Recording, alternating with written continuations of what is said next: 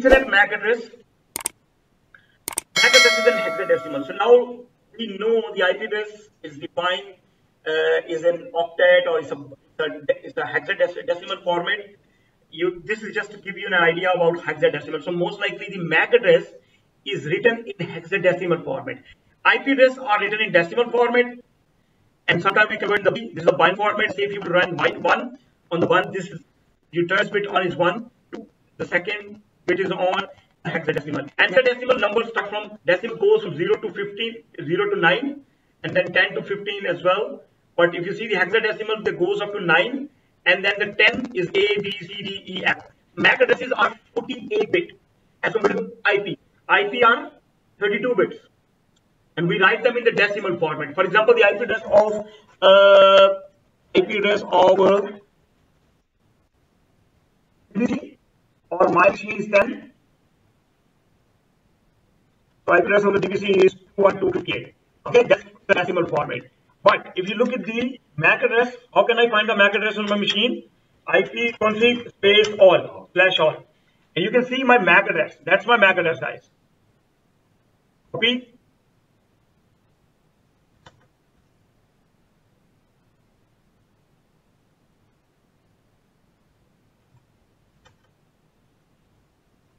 Okay, have a look. That is the address that is the shape of my map. 9061 AE 24 9A 50. Okay? And every machine in your network, even the MAC address is unique. Even though they may be same, same way. Clear? So these you can see one byte, one byte, one byte, total six bytes. Six multiplied by eight, 48. So total 48 bits.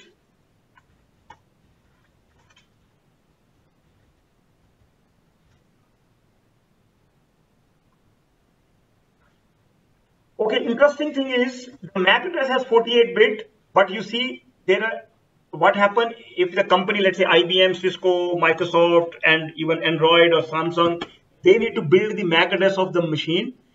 They need to buy this from IEEE.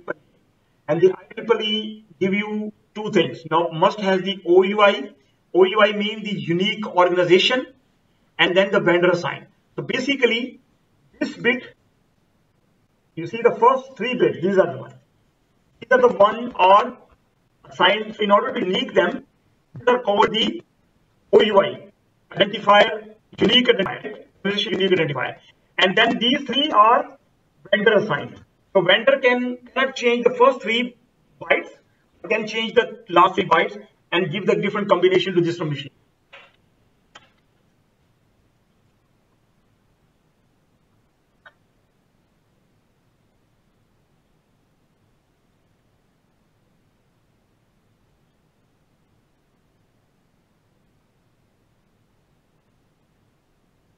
So processing frame process. Frame processing mean destination address CCC, address sources as AAA, data encapsulate, uh, source address B, BBB, this is DD.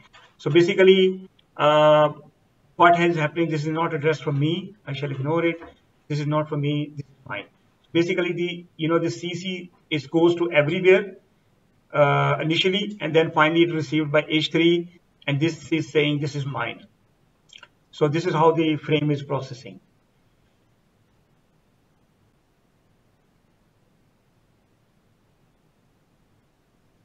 Okay.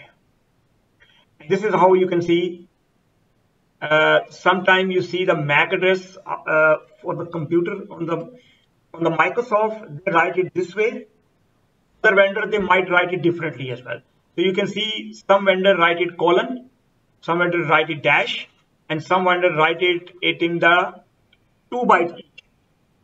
This is one byte, one byte, total eight, six bytes. This is also six byte. This vendor you can see they are writing two bytes each. So different vendor write it differently. That's a representation of uh, MAC address. So most likely these are the MAC address representation, but nevertheless they are not more than six byte, but its representation is different. Some is dash, some is colon, some is two bytes each and you can see this is the physical address ipconfig all Unicast MAC address, we know that when the IP address is uh, just a MAC, one MAC address. Broadcast MAC address, you can see FFF, which goes to all the devices. And multicast MAC address is also some kind of a number. It is only group of people.